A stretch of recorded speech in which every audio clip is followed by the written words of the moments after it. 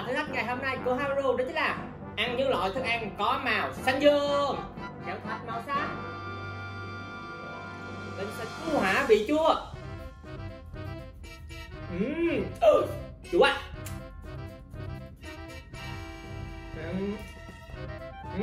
Chua quá.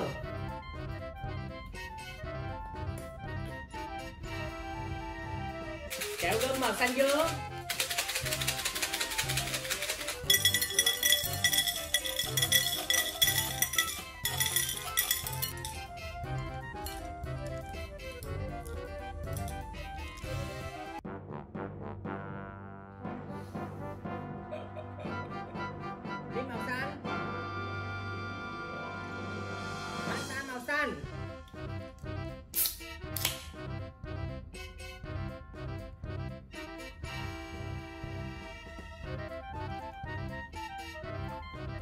Kẹo thạch màu xanh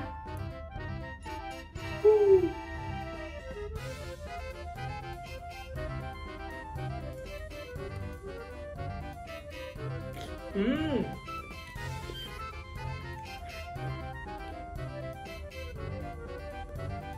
Ừm.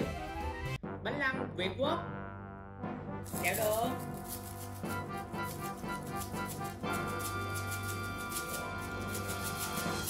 đường Kẹo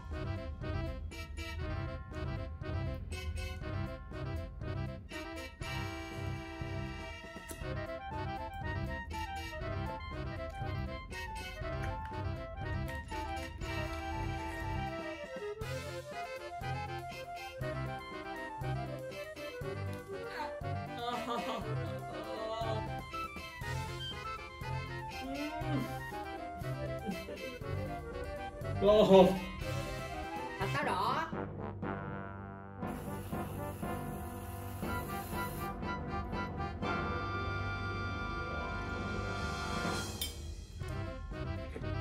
Ừm.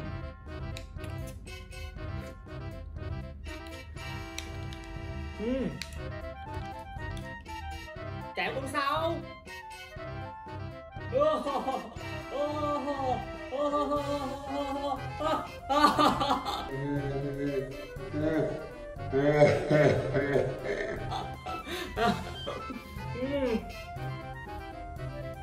Ừm, ừm.